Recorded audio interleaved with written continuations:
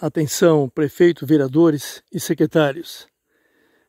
Nos anos 80, a prefeitura homenageou a dona Martinha, fundadora da Legião Mirim, com o nome dessa praça. Aqui na Rua das Rosas, é, Jardim das Flores. Mas nenhum prefeito até agora nem o Eurides, nem o Perazolo, nem o Ailton conseguiu deixar essa praça com um tipo de praça. O que se vê aqui é muito lixo, muito mato, já há muitos anos.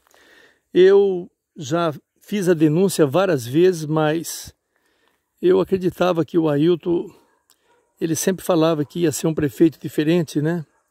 Que ia fazer e acontecer porque ele, ele ia governar assim, tipo, não como político, mas como um empresário, que ele sabia como atingir os problemas.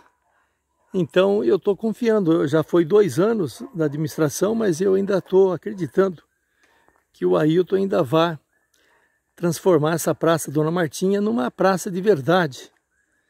Aqui, eu e os meus companheiros da Associação Ecológica plantamos dezenas e dezenas de árvores, juntamente com o Pedrinho, que era o presidente aqui. Esta árvore aqui, se não me falha a memória, foi plantada pelas minhas mãos. É um guapuruvu ali atrás, uma outra que o meu sobrinho plantou ali na frente. Eu plantei um pé de figueira nativa. Eu até poderia descer lá, mas estou com medo de cobra. Tem muito mato aqui, muito lixo.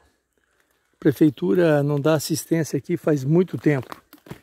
Pedimos então, pelo amor de Deus, em nome da população do Jardim das Flores, que paga imposto, tanto quanto qualquer outro munícipe, né? O imposto que, que, que os contribuintes aqui pagam tem o mesmo valor dos contribuintes aí do centro da cidade. Só para vocês terem uma ideia, o vizinho aqui falou que está pagando 600 reais de IPTU.